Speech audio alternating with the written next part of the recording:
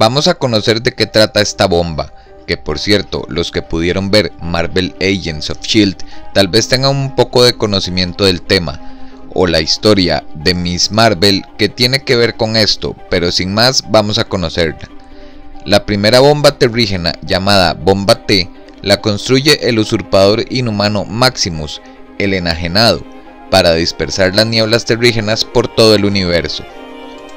Su plan, que ejecuta durante la guerra entre los imperios Kree y Chihar, es convertir a todas las especies de inhumanos y provocar así una nueva era de paz.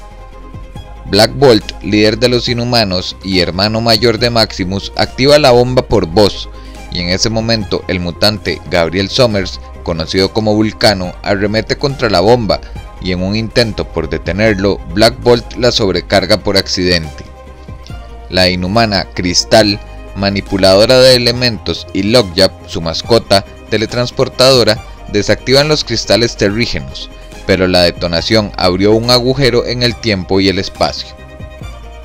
Black Bolt creó una segunda bomba T, cuando Thanos llega a la Tierra en busca de su hijo Tane, y desde ese momento la nube terrígena resultante propaga nieblas por el planeta que afecta a todo el que tenga ADN inhumano, proporcionándole dones y hasta superpoderes inhumanos.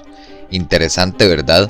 Como les dije al inicio, en la serie de Shield podemos ver mucho sobre estas nieblas terrígenas, muchos de los personajes tienen que ver con esto, y los cristales terrígenos son un arma que aparece bastante en esta serie. Si te ha gustado el video, regálame tu like y déjame en los comentarios qué te ha parecido y nos vemos muy pronto con nuevos artefactos de ciencia y tecnología del universo Marvel.